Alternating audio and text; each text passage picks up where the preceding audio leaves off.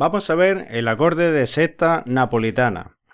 El acorde de sexta napolitana es un segundo grado rebajado en primera inversión originalmente para producir lo que es la sexta napolitana. Si no estuviera en primera inversión, como es a partir del siglo XIX, está en estado fundamental, ya no hay sexta, pero se sigue llamando sexta napolitana dado su origen. Esto dicen que suele es, era un giro característico, un acorde, una sonoridad de la escuela napolitana de los siglos XVII y XVIII, ¿no? Su origen es incierto, aunque sí sabemos eh, que viene del modo frigio, tanto en el modo mayor como en el modo menor se puede usar, es el do mayor o en do menor, segundo grado rebajado, eh, que viene de la escala frigia. Originalmente este la incluso algunos lo usaban natural. Pero no vamos a ser tan puristas y lo usamos como la gran mayoría lo usan con la quinta también rebajada. Bien, el frigio, eh, cuando se le pone una sensible, nace el modo napolitano menor.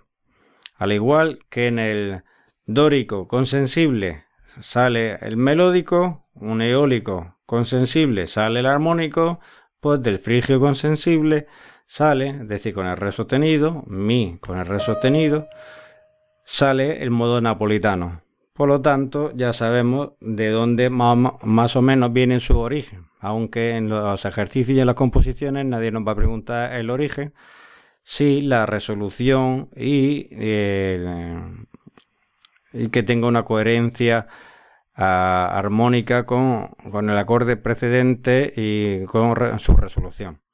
Bien, eh, hay un giro característico que es este, el de tercera disminuida, que normalmente está prohibido o a evitar. Sin embargo, aquí sí se permite incluso la relación, la falsa relación entre ese re bemol de la voz superior y el re del, eh, tenor, re natural, también está permitida por el hecho de que los compositores lo han usado durante años y ya lo que se mantiene por tradición no se puede cambiar y se, permite, ¿no? Aquí directamente hemos anulado la, quinta y no tenemos eh, esa falsa resolución. Ustedes ya hacen uno u otro dependiendo el sonido o eh, cómo le vaya conduciendo las voces.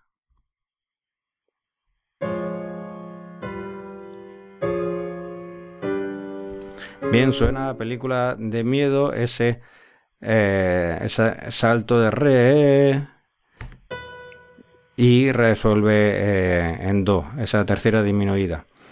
Bien, hay gente, eh, no lo he dicho o lo he puesto por ahí, voy a usar varios cifrados para el acorde, dependiendo de la escuela, lo cifran de una manera u otra. La N es el napolitano, otros usan el SN, subdominante, otros menos 2, segundo rebajado. Bien, pues puede estar en primera inversión, que es el estado original, el siglo XVII y XVIII, en estado fundamental, siglo XIX, y en, en segunda inversión, con 6-4, que no es tan usada, pero por ejemplo ahora veremos aquí lo tenemos en segunda inversión y vamos a una dominante puesto que siempre la... bueno, siempre no. Normalmente la sexta napolitana mm, va a la dominante haciendo lo que se llama cadencia napolitana. Ese giro de tercera disminuida que tenemos arriba es el, el característico de la cadencia napolitana.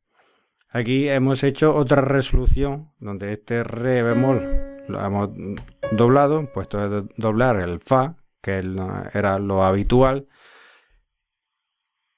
eh, uno va a, mm, va a resolver en re natural y otro va a hacer el giro de, tercera disminuida. El La se mantiene y el Fa se mantiene. ¿Qué, a ¿Qué acorde vamos? Una dominante con novena rebajada, si fundamental. Dominante, si fundamental con novena rebajada, lo que se conoce como una eh, séptima disminuida, SDV. No tengo el símbolo para ponerlo en condiciones, que sería una S aquí encima de la D y una V. Lo que es un mato, ¿no? Escuchamos.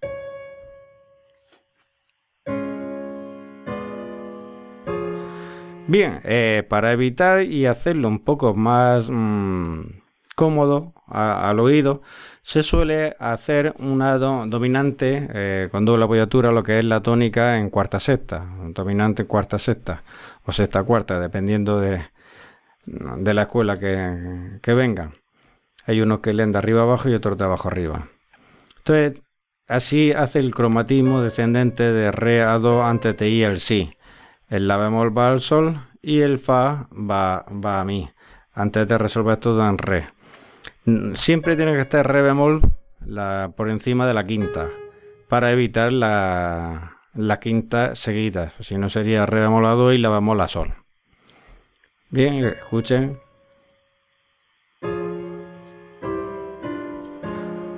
Em, eso lo hemos hecho, en puesto de hacer, perdón por el mareo, de la cadencia, donde tengo la cadencia, de la cadencia napolitana, que es esta de aquí.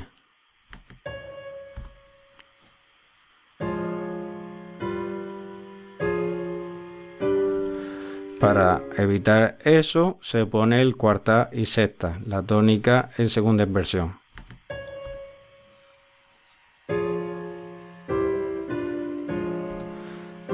Bien, no siempre tiene que ir a la dominante, sino puede ir a la tónica en primera inversión o incluso hacer una cadencia plagal o esa tónica convertirla con una séptima menor en dominante del cuarto o incluso ir a otra subdominante siempre que se resuelvan bien en la conducción de las voces. Por ejemplo, el re baldo, el fa que lo hemos doblado, uno baja al mi, otro sube al sol y el la al sol.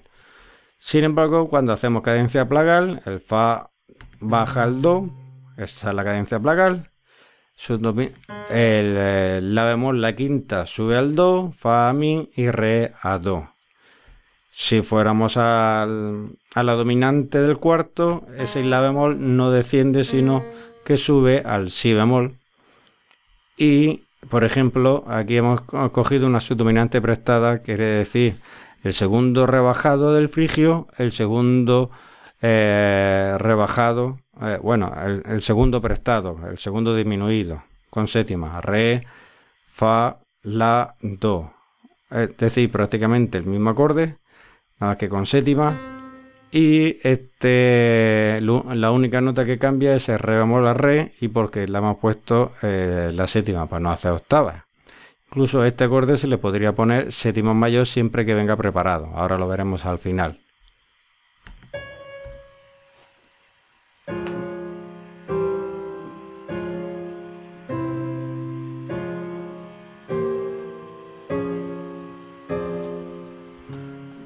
Hay que llevar cuidado cuando usemos el, napolitano en modo menores, puesto que, por ejemplo, si tenemos el re bemol hacemos un eh, do menor, estamos en do menor, hacemos la dominante del sexto, por no decir que vamos a hacer un tercero, y sexto, eh, hay un momento que el oído escucha cuarto, quinto, primero de la bemol.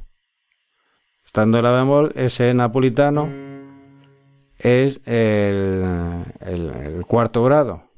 Entonces, puede haber pequeñas inflexiones tonales que mm, no nos interese o sí nos interese, dependiendo. Solo hay que tener en cuenta que nos pueden salir pequeñas ah, tonicalizaciones. Bien, eh, como cualquier otro grado, eh, puede estar precedido de su dominante secundaria, tanto en modo mayor como en modo menor, en, la misma, do menor y do mayor.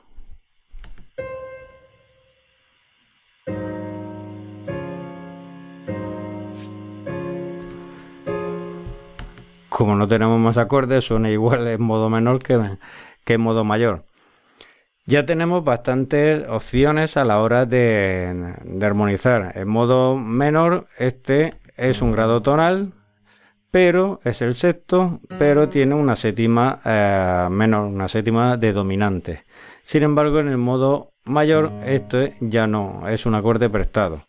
Eh, aquí sería una dominante secundaria directamente del napolitano. Todo esto a la hora de modular, pues figúrense todas las opciones que nos da. ¿Qué podemos hacer? Pues tenemos un napolitano, un segundo ah, aumentado, recuerden, con fundamental la segunda, con la fundamental y la tercera aumentada, un cuarta sexta cadencial y una dominante.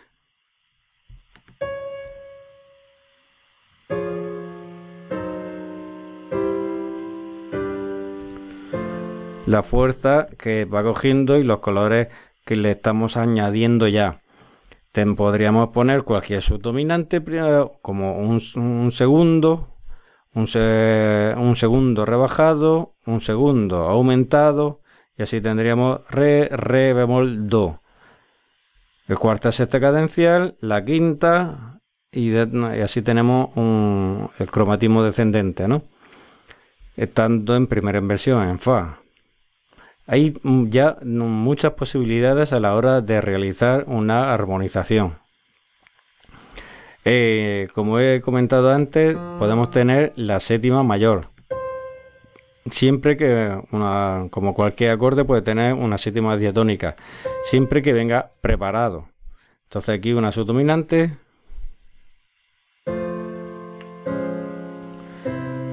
y ponemos el napolitano. Para modular cualquier acorde, por ejemplo el acorde de Do puede ser napolitano de Si. Cualquier acorde pues, se puede convertir en cualquier acorde perfecto mayor, claro, en napolitano de otra tonalidad. Y a la misma vez a ese napolitano podemos hacerle acordes prestados, dominantes dentro de una tonalidad podemos usar acordes prestados, como saben, dominantes secundarias con séptimas y fundamental haciendo que la novena natural con la novena bemol, lo que es la, séptima sensible, la séptima sensible, séptima disminuida. Podemos hacer subdominante de subdominante, podemos ah, usar el segundo y el sexto elevado, la supertónica y la submediante, y la sexta napolitana con su variante. Pues ya tenemos un montón de opciones, ya podemos hacer briguerías. Nos falta la sexta aumentada y los acordes aumentados con, la quinta.